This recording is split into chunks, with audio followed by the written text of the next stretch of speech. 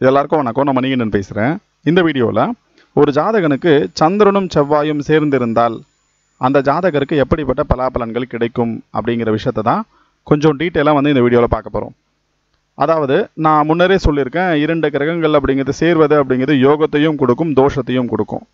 இந்த இடத்துல இரண்டு வேறு கிரகங்கள் அதாவது இரண்டும் வந்து ஆப்போசிட்டான கிரகங்கள் சேர்வது அப்படிங்கிறது ஒரு மிகப்பெரிய ஒரு யோகத்தை வந்து நிச்சயமாக கொடுக்கும். எப்படி சார் இரண்டும் வந்து வேறு கிரகங்கள் அப்படி சொல்கிறீங்கன்னு கேட்டிங்கன்னா சந்திரன் அப்படிங்கிறது வந்து நீர் கிரகம் செவ்வாய் அப்படிங்கிறது நெருப்பு கிரகம்.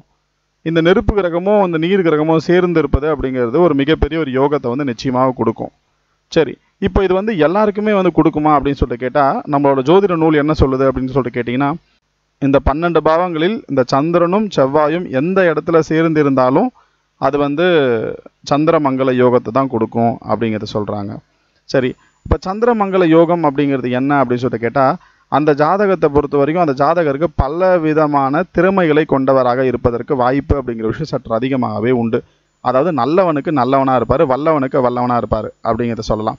இது எல்லாருக்குமே கிடைக்குமா சார் அப்படின்னு சொல்லிட்டு கேட்டால் நிச்சயமாக கிடைக்கும். ஆனால் சந்திரனை பொறுத்த வரைக்கும் சந்திரன் அப்படிங்கிறது வந்து பாதி தான் வந்து சுபர்.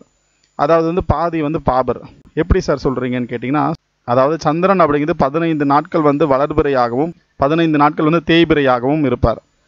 அப்போ வந்து வளர்பிறை காலத்தில் இருக்கக்கூடிய சந்திரன் அப்படிங்கிறது முழு சுபர் அப்படின்னு சொல்கிறாங்க தேய்பிறை காலத்தில் வரக்கூடிய சந்திரன் அப்படிங்கிறது வந்து அசுபர் அப்படின்னு சொல்கிறாங்க அப்போது இந்த அசுபரோடு சேர்ந்து இருக்கக்கூடிய செவ்வாயும் இந்த யோகத்தை கொடுக்குமா அப்படின்னா யோகத்தை கொடுக்கும்.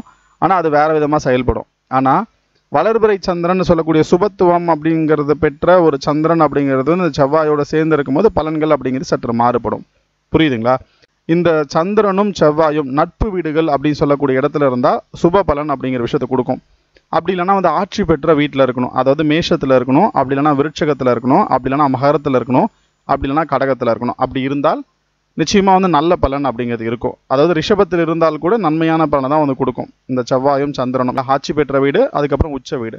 இந்த இடத்துல இருந்தால் நிச்சயமாக வந்து சுப பலன் அப்படிங்கிற விஷயத்தை கொடுக்கும். இந்த சந்திரன் அப்படிங்கிறது வந்து இயற்கையிலேயே வந்து பார்த்தீங்கன்னு வச்சுக்கிங்களேன் ஒரு குளுமையான ஒரு பிளானட் இந்த அமைப்பு பெற்றவர்களுக்கு லக்னத்திலேயே வந்து இந்த சந்திரனும் செவ்வாயும் சேர்ந்திருந்தால் அந்த ஜாதகர் வந்து உடல் ரீதியாக ஒரு குளிர்ச்சியான உடல்நிலை அப்படிங்கிற விஷயம் பெற்ற ஒரு ஜாதகராக இருப்பார். அதே போல் அந்த ஜாதகர் வந்து சிவந்த மேனி உடையவர் அப்படின்னு கூட சொல்லலாம். புரியுதுங்களா? அந்த ஜாதகத்தை பொறுத்தவரை நிறைய திறமைகள் அப்படிங்கிற விஷயம் இருக்கும். இதே வந்து இரண்டாம் இடத்தோட சம்மந்தப்பட்டிருந்தால் அதாவது இரண்டாம் பாவம்னு சொல்லுவோம் லக்னத்திற்கு இரண்டாம் இடத்துல இந்த சந்திரனும் செவ்வாயும் இருந்தால் அது வந்து நன்மையான ஒரு பலன் அப்படிங்கிறது கொடுக்கும். என்னதான் வந்து கோவப்பட்டாலும் உடனே வந்து சரியாயிடுவார் கூல் ஆகிடுவார் அப்படிங்கிறத சொல்லலாம். ஒரு முக்கியமான ஒரு விஷயத்த வந்து உங்ககிட்ட சொல்லலை. அதாவது வளர்பிறை சந்திரன் தேய்பிறை சந்திரன் எப்படி சார் நம்ம கண்டுபிடிக்கிறது அப்படிங்கிற விஷயம் ரொம்ப சிம்பிளுங்க. உங்களுடைய ஜாதகத்தில் சூரியன் எங்கே இருக்காரு அப்படிங்கிறத பாருங்கள் அதாவது உங்களோட பிறப்பு ஜாதகத்தில் சூரியன் எங்கே இருக்காருங்கிறத பாருங்கள் சூரியன் இருக்கக்கூடிய இடத்துல இருந்து ஏழாம் வீடு அதாவது ஒன்று சூரியன் இருக்கக்கூடிய இடம் அப்படிங்கிறது ஒன்று நல்லா புரிஞ்சுக்குங்க. சூரியன் இருக்கக்கூடிய இடம் அப்படிங்கிறது ஒன்று சூரியனுக்கு அடுத்த வீடு இரண்டு மூன்று நான்கு ஐந்து ஆறு ஏழு.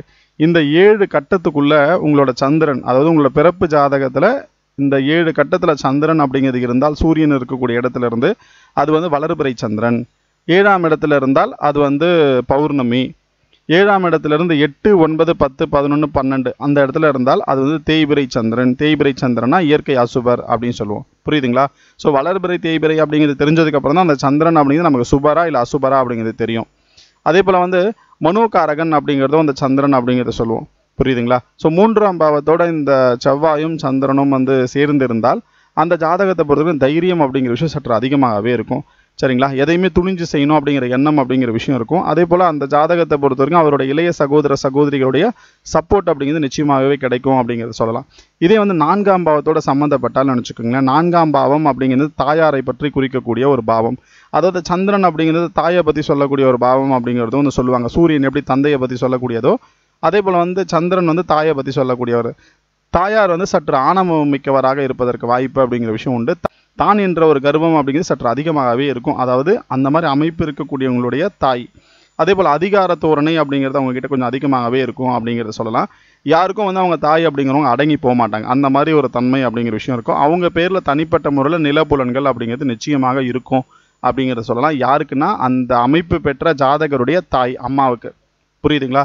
அதே போல் வந்து ஐந்தாம் இடத்தோட சம்மந்தப்பட்டிருந்தால் அந்த ஜாதகத்தை பொறுத்தவரைக்கும் ஆச்சாரம் அனுஷ்டானம் அப்படிங்கிற விஷயத்தை கடைபிடிக்கக்கூடியவராக இருப்பார். சரிங்களா? கோவில் குளத்துக்கு வந்து அதிகமாக போயிட்டு வரக்கூடியவராக இருப்பார். அதாவது சிவ வழிபாடு அப்படிங்கிற விஷயத்தையும் செய்வார் பெருமாள் வழிபாடு அப்படிங்கிற விஷயத்தையும் செய்வார். இரண்டையும் வந்து ஒன்றாக பார்க்கக்கூடிய ஒரு தன்மை கொண்ட ஒரு ஜாதகராக இருப்பார். வேறு மதத்தை சார்ந்தவராக இருந்தாருன்னா எல்லாத்தையும் ஒன்று அப்படின்னு நினைக்கக்கூடிய ஒரு தன்மை அப்படிங்கிற விஷயம் அந்த ஜாதகர்கிட்ட இருக்கும். சரிங்களா? இதே ஆறாம் பாவத்தோட சம்மந்தப்பட்டிருந்தால் அடிக்கடி ஜலதோஷம் அப்படிங்கிற விஷயத்தில் வந்து அந்த ஜாதகருக்கு பாதிப்பு அப்படிங்கிற விஷயம் அடையும். அதே போல் அந்த ஜாதகத்தை பொறுத்தவரைக்கும் ரத்தம் சம்பந்தமான பிரச்சனை இருக்கிறதுக்கு வாய்ப்பு அப்படிங்கிற விஷயம் சற்று அதிகமாகவே இருக்குது இதே வந்து தேய்பிரை சந்திரனாக இருந்தால் அந்த ஜாதகருக்கு எப்பொழுதுமே வந்து கொஞ்சம் இந்த நீர் சம்பந்தமான பிரச்சனை அப்படிங்கிற விஷயம் கொஞ்சம் அதிகமாகவே இருக்கும் அப்படிங்கிறத சொல்லலாம். இதே ஏழாம் பாவத்தோட சம்மந்தப்பட்டால் ஏழாம் பாவத்தில் இந்த செவ்வாயும் சந்திரனும் சேர்ந்து இருந்தால் அந்த ஜாதகத்தை பொறுத்த வரைக்கும் அந்த ஜாதகருக்கு மனைவி அப்படிங்கிறவங்க ஆதிக்கம் செலுத்தக்கூடியவர்களாக இருப்பதற்கு வாய்ப்பு அப்படிங்கிற விஷயம் சற்று அதிகமாகவே இருக்கும். அதே போல் வந்து பார்த்தீங்கன்னா எப்போவுமே வந்து வீட்டில் வந்து ஒரு பிரச்சனை அப்படிங்கிற விஷயம் இருந்துக்கிட்டே இருக்கும். ஏதாவது பேசினாங்கன்னா அந்த இடத்துல வந்து பிரச்சனை அப்படிங்கிற விஷயம் வரும். அதாவது கணவன் மனைவிக்கிட்டே கருத்து வேறுபாடு அப்படிங்கிற விஷயம் கொஞ்சம் அதிகமாகவே இருக்கும் அப்படிங்கிறதையும் சொல்லலாம். எட்டாம் பாவத்தோட சம்மந்தப்பட்டால் எட்டாம் பாவம் அப்படிங்கிறது வந்து ஆயில் ஸ்தானம்னு சொல்லுவோம். ஆயில் ஸ்தானம் அப்படிங்கிற இடத்துல வந்து இந்த செவ்வாயும் சந்திரனும் சேர்ந்திருந்தால் அது வந்து ஒரு மிகப்பெரிய ஒரு யோகம். சரிங்களா? பெரிய ஒரு பாதிப்பு அப்படிங்கிற விஷயம் நிச்சயமாக இருக்காது. அதாவது இந்த எட்டாம் இடத்துல வந்து இந்த செவ்வாய் இருந்தால் தோஷத்தை கொடுக்கும் அப்படின்னு சொல்லுவாங்க. நல்லா ஒரு விஷயத்த மட்டும் புரிஞ்சுக்குங்க.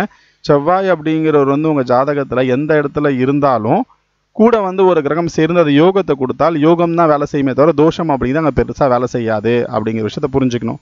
அதே போல் ஒன்பதாம் பாவத்தோட சம்மந்தப்பட்டாலும் அந்த ஜாதகத்தை பொறுத்த வரைக்கும் அந்த ஜாதகருடைய அப்பா அப்படிங்கிறது வந்து அம்மாவோட சொல்படி நடக்கக்கூடியவராக இருக்கிறதுக்கு வாய்ப்பு அப்படிங்கிறது சற்று அதிகமாகவே இருக்குது ஒரு முக்கியமான ஒரு விஷயம் சொல்லணும்னா இந்த அமைப்பு பெற்றவர்கள் வந்து மோஸ்ட்லி வந்து பார்த்தீங்கன்னா டாக்டராக இருக்கிறதுக்கு நிறைய வாய்ப்பு அப்படிங்கிற விஷயம் உண்டு. அதாவது யூனிஃபார்ம்டு ஜாப்னு சொல்லுவாங்க பார்த்தீங்களா யூனிஃபார்ம்டு ஜாபை போடுறதுக்கு நிறைய வாய்ப்பு அப்படிங்கிற விஷயம் உண்டு. அதாவது ராணுவம் போலீஸு மருத்துவர் சம்மந்தமான விஷயங்கள் எல்லாமே செய்யக்கூடியது அப்படிங்கிறது வந்து யூனிஃபார்ம்டு ஜாப்னு சொல்லுவோம். அந்த யூனிஃபார்ம்டு ஜாப் செய்யக்கூடிய ஒரு தன்மை அப்படிங்கிறது இருக்கும். ரத்தம் சம்மந்தமான விஷயத்தை செய்கிறதுக்கு வாய்ப்பு அப்படிங்கிற விஷயம் சற்று அதிகமாகவே உண்டு. அதே போல் வந்து இந்த மருத்துவ உபகரணங்கள் சொல்லுவோம் பார்த்தீங்களா இந்த மருத்துவ உபகரணங்கள் வந்து செஞ்சு அதை வந்து எக்ஸ்போர்ட் இம்போர்ட் பண்ணுறதுக்கு உண்டான வாய்ப்பு அப்படிங்கிற விஷயம் கூட சற்று அதிகமாகவே இருக்குது அப்படிங்கிறத சொல்லலாம். இந்த மாதிரி அவர் சம்மந்தப்பட்ட துறையை வந்து அவர் எடுக்கும் பொழுது அது வந்து மிகப்பெரிய ஒரு நன்மையையும் ஒரு பெரிய ஒரு நிலையை வந்து நிச்சயமாக கொடுக்கும் அப்படிங்கிற சொல்லலாம். சில பேருக்கு வந்து கடல் சார்ந்த தொழில் வியாபாரம் அப்படிங்கிற விஷயம் கூட அந்த ஜாதகத்துக்கு நன்மை அப்படிங்கிற விஷயத்தை கொடுக்கும் அப்படிங்கிறத சொல்லலாம். அதே போல் வந்து இந்த அமைப்பு பெற்றவர்களுக்கு வந்து மோஸ்ட்லி வந்து போலீஸ் வேலை கிடைக்கிறதுக்கு வாய்ப்பு இருக்குது செவ்வாய் அப்படிங்கிறது ஜாதகத்தில் பலமாக இருந்தால். அதாவது இதுவே வந்து தேய்பிரை சந்திரனாக இருக்குன்னு வச்சுப்போம். சே தேய்பிரை சந்திரனாக இருந்து பத்தாம் பாவத்தோட சம்மந்தப்பட்டிருந்தால் அந்த ஜாதகத்தை பொறுத்தவரைக்கும் ஒரு கறி கடையில் வேலை செய்கிறதுக்கு வாய்ப்பு அப்படிங்கிற விஷயம் உண்டு. கறி வியாபாரம் செய்கிறவராக இருக்கிறதுக்கு வாய்ப்பு அப்படிங்கிற விஷயம் உண்டு. அதே போல் வந்து இந்த விலங்குகளை வந்து வேட்டையாடக்கூடிய ஒரு இந்த வேட்டையாளராக இருக்கிறதுக்கு வாய்ப்பு அப்படிங்கிற விஷயம் உண்டு. புரியுதுங்களா? அதே போல் வந்து இந்த ரத்தம் தொடர்புடைய விஷயமா இருக்கணும். அப்படி இல்லைனா ரியல் எஸ்டேட் சம்மந்தமான விஷயத்தை கூட செய்கிறதுக்கு வாய்ப்பு அப்படிங்கிற விஷயம் சற்று அதிகமாகவே இருக்குது அதாவது அந்த பத்தாம் பாவத்தோட இந்த செவ்வாய் பலமாக இருக்கா சந்திரன் பலமாக இருக்கான்னு பார்க்கணும். அது அது சம்மந்தப்பட்ட விஷயத்த அந்த ஜாதகர் நிச்சயமாகவே செய்வார் அப்படிங்கிறது சொல்லலாம். ஆனால் ஒரு முக்கியமான ஒரு விஷயம் சொல்லணும் அப்படின்னா ஒரு ஜாதகனுக்கு மருத்துவம் சம்மந்தப்பட்ட விஷயத்த வந்து அந்த ஜாதகர் செய்யணும் அப்படின்னா நிச்சயமாக அந்த ஜாதகருக்கு செவ்வாயோட தொடர்பு அப்படிங்கிற விஷயம் இருக்கணும். செவ்வாய் அப்படிங்கிறது ஜாதகத்தில் பலமாகவே இருக்கணும். அதே போல் ஒரு ஜாதகர் வந்து போலீஸ்லையோ அல்லது இராணுவத்திலையோ வந்து தொடர்பு இருக்கணும் அப்படின்னா நிச்சயமாக அந்த செவ்வாய் அப்படின்னு ஜாதகத்துக்கு பலமாகவே இருக்கணும். அப்படி இருந்தால் அந்த ஜாதகர் வந்து மிகப்பெரிய ஒரு சாதனை அப்படிங்கிற விஷயத்தை படைக்க முடியும் அப்படிங்கிறத சொல்லலாம். இதே வந்து பதினோராம் பாவத்தோட இந்த செவ்வாயும் சந்திரனும் சேர்ந்திருந்தால் அந்த ஜாதகத்தை பொறுத்த வரைக்கும் நல்ல லாபம் அப்படிங்கிற விஷயம் இருக்கும். பெருசாக வந்து பணத்தை வந்து அவர் வந்து குறிக்கோளாக வச்சுக்கவே மாட்டார். அவரை விட அவருடைய பிரதர் பிரதருக்கு வந்து ரொம்ப ரொம்ப நல்லது. அதாவது மூத்த சகோதரருக்கு ரொம்ப ரொம்ப நல்லது. சகோதரியாக இருந்தாலும் ரொம்பவும் நல்லது. அப்படிங்கிறத சொல்லலாம். இது வந்து பன்னெண்டாம் பாவத்தோட சம்மந்தப்பட்டு பன்னெண்டாம் பாவத்திலேயே வந்து அந்த செவ்வாயும் சந்திரனும் சந்திரனும் செவ்வாயும் இருந்தால் அந்த ஜாதகத்துக்கு தூக்கம் அப்படிங்கிறது சரியாகவே இருக்காது. புரியுதுங்களா? ஒன்று தூக்கமே இல்லாமல் வந்து கஷ்டப்படுவார். அப்படி இல்லைனா தூங்கியே வந்து கஷ்டப்படுவார். ரெண்டுத்தில் ஏதாவது ஒன்று தான் இருக்கும். ஒன்று ஜாதகத்தில் எந்த கிரகம் பலமாக இருக்கோ அதற்கேற்றார் போல் செயல் அப்படிங்கிற விஷயம் இருக்கும். எந்த வீடு அப்படிங்கிறது ரொம்ப ரொம்ப முக்கியம். எந்த எந்த நட்சத்திரத்தில் இருக்குது அப்படிங்கிறது ரொம்ப ரொம்ப முக்கியம். புரியுதுங்களா? ஆக இந்த சந்திரனும் செவ்வாயும் சேர்ந்து இருந்தாலே அது வந்து ஒரு மிகப்பெரிய ஒரு யோகத்தை நிச்சயமாக வந்து கொடுக்கும் அந்த ஜாதகத்துக்கு.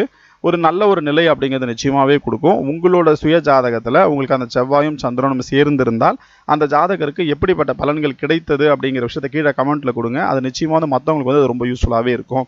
இந்த மாதிரி ஒரு காம்பினேஷன்ஸ் அப்படின்னு உங்கள் ஜாதகத்தில் இருந்து உங்களுக்கு எந்த விதமான பலனும் வந்து உங்களுக்கு கிடைக்கல அப்படின்னாலும் கீழே கமெண்ட்டில் கொடுங்க. அது என்ன அப்படிங்கிற விஷயத்தை நான் நிச்சயமாக வந்து உங்களுக்கு சொல்கிறேன் இப்போ வந்து உங்களோட ஜாதகத்தில் செவ்வாயும் சந்திரனும் சேர்ந்திருந்து அதை வந்து சனி அப்படிங்கிற ஒரு பார்த்தார். அந்த ஜாதகத்தை பொறுத்தவரையும் விளையாட்டுத் துறையில் வந்து ரொம்ப நல்லபடியாகவே இருப்பார் அப்படிங்கிறத சொல்லலாம். புரியுதுங்களா? குரு பார்த்தால் மிகவும் சிறப்பு. நிச்சயமாக வந்து டாக்டராக இருக்கிறதுக்கு வாய்ப்பு அப்படிங்கிற விஷயம் உண்டு.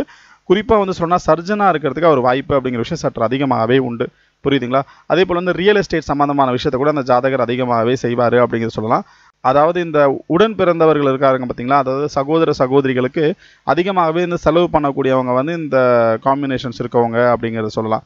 அதாவது சந்திர மங்கள யோகம் அப்படிங்கிறது மிகவும் சிறப்பான ஒரு யோகம். அந்த ஜாதகருக்கு எப்பொழுதுமே அது வந்து வேலை செஞ்சுட்டே இருக்கும். ஏன் அப்படின்னா சந்திரன் அப்படிங்கிறது எப்பொழுதுமே அந்த ஜாதகருக்கு பலம் அப்படிங்கிற விஷயத்தை கொடுக்கும் அப்படிங்கிறத சொல்லலாம். சந்திரனோட வீட்டில் இருக்கா? அது செவ்வாயோட வீட்டில் இருக்கா அப்படிங்கிறத பொறுத்து அதனுடைய ஆதிக்கம் அதனுடைய பலம் அப்படிங்கிறது சற்று அதிகமாகவே இருக்கும் அப்படிங்கிற விஷயத்த நிச்சயமாக வந்து சொல்லலாம்.